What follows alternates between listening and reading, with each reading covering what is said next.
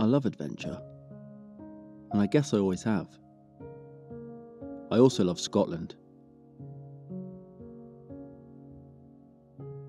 Now, I know that may not come as much of a surprise for any of you that have been following the channel for a while. I think it was Robbie Burns who summed it up well when he said, My heart is in the Highlands, my heart is not here. My heart is in the Highlands, chasing the deer. And that kind of always stuck with me. So a couple of weeks ago, when I was sat at my desk down here in Devon, I suddenly got that urge, the urge to just get away for a few days. I decided I wanted to get back up to the Highlands as soon as possible. So I packed up my van and I made the 10 hour drive north to the Scottish Highlands, where I hoped to find some red deer. But it's not just the red deer that makes Scotland the incredible place that it is. It's everything. The scenery, from the mountains, the forests, the rivers and waterfalls, to the abundance of wildlife, from red deer to red squirrels, dippers and otters. Scotland really does have it all, and I think for me that's what makes it the perfect place to escape to.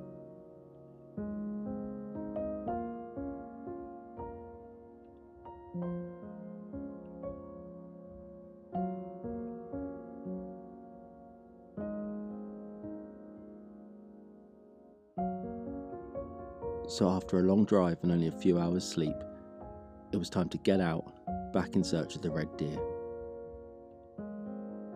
And wow, was it great to be back in the Highlands.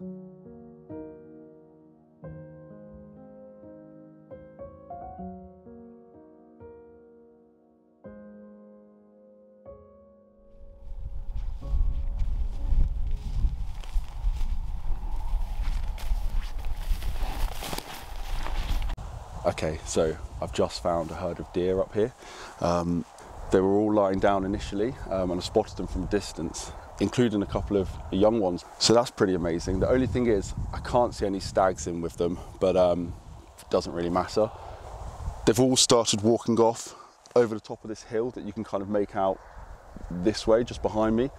So rather than kind of following them from behind, I think what I'm going to do is I'm going to walk back to the way I came and give it quite a wide berth and go to the other side of the hill that they're walking up and hope that they walk down towards me. Um, I haven't got the wind in my favour, but I don't know. I'm just going to take my time and see what happens, but this is still amazing to see.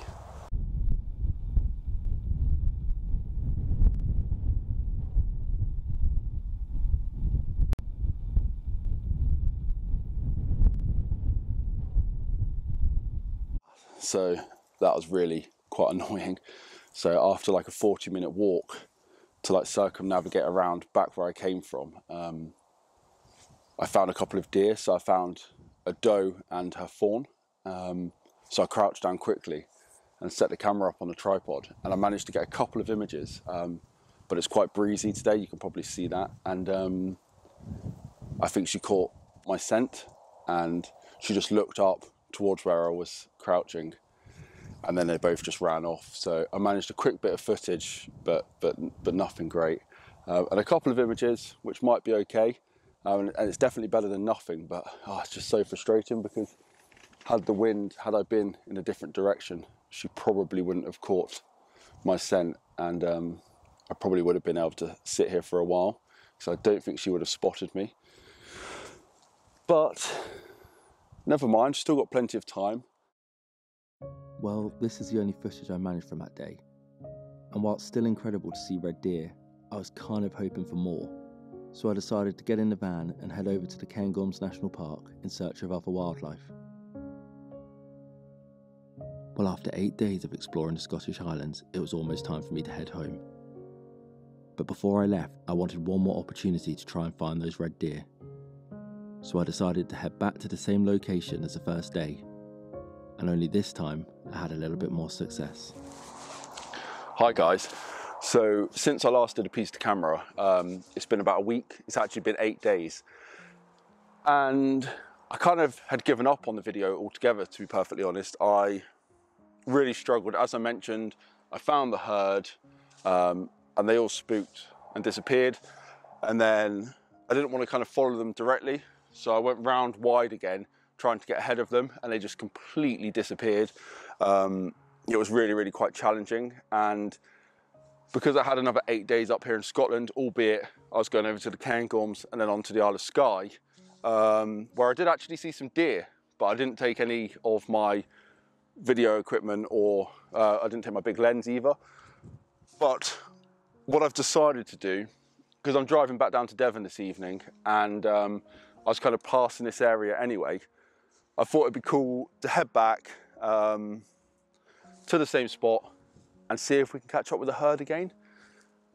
I don't know if we're going to get anywhere. I don't even know if this video will make it out onto YouTube, but um, I thought I'd give it a go. So I've got about two hours left before sunset and the conditions are pretty cool. It's quite, um, I wouldn't say it's stormy, but there's a lot of like grey, thick clouds rolling in over the hills behind me. So could make for some quite nice images. But I guess that all depends on whether we find the deer or not. Um, I'm going to give it till sunset anyway. So I've got two hours to try and find these deer, to get some images, and to hopefully, excuse me, and to hopefully find some images for you. This is awesome. So I've already found a stag, um, albeit a young one, but it doesn't matter. He's probably only about 100, 150 meters away from me, um, and he's just lying down. Doesn't seem bothered at all.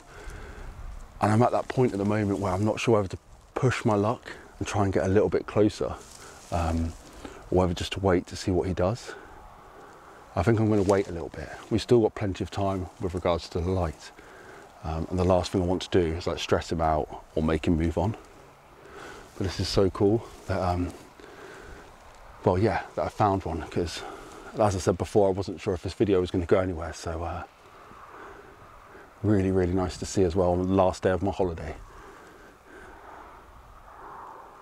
And to get some images. I'll talk to you in a minute.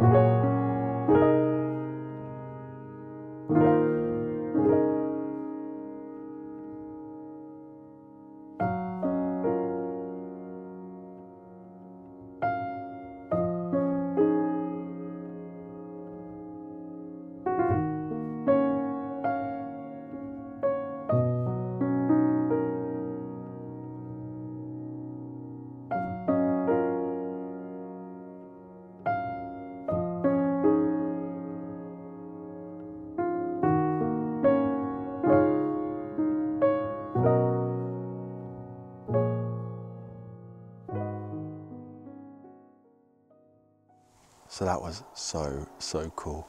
I um, managed to get pretty close to that, in fact, to the point where it was like filling the frame to that um, stag. And I was just sat there because it's just lying down initially, not really doing much, but seemed chilled, but aware that I was there. Um, so I didn't really want to push it. So I was kind of just waiting. Um, and then he got up, started having a bit of a feed. And that was really cool. And then he started moving off. And just as I was about to move with him, to try and kind of get a different composition, um, another stag just popped up from behind him. So I managed to get a couple of images of him too. And then they just started wandering off, kind of like somewhere behind me. Um, and I can't find them.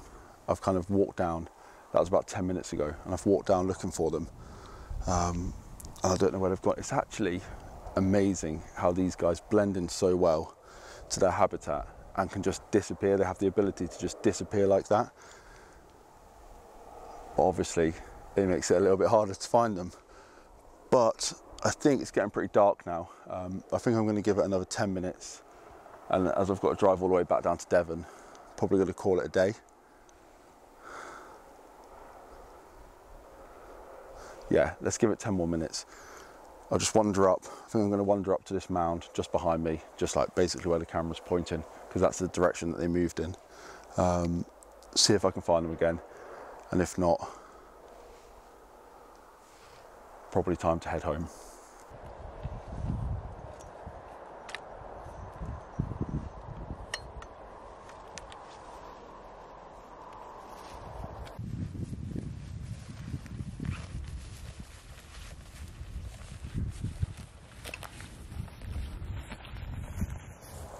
Well, that's me done. I um, went over to the mound where I said, um, and I wasn't really expecting to find them again, to be honest. If these guys don't want to be found, they won't be. And um, yeah, time for me to call it a day. I'm so stoked that I decided to stop here, to be honest. It was kind of, I wouldn't say an afterthought, but it was only as I was approaching this area where I thought maybe I should just stop and have another look. And it just goes to show that, you know, sometimes it is worth it. Um, I've got to drive back to Devon now. So it's got a pretty long drive. So it's time for me to call it a day, get back to the van and um, start driving. So I hope you enjoyed the video. Um, might be a bit of a short one. I'm not sure yet until I get back and edit it. They didn't really do that that much, but um, I hope you enjoyed the footage anyway. If you did, please consider giving it a thumbs up and I'll see you all on the next one. Midges, they absolutely love me. But um, it's a pretty, pretty one-sided love affair here. Right, so I'll see you all on the next video.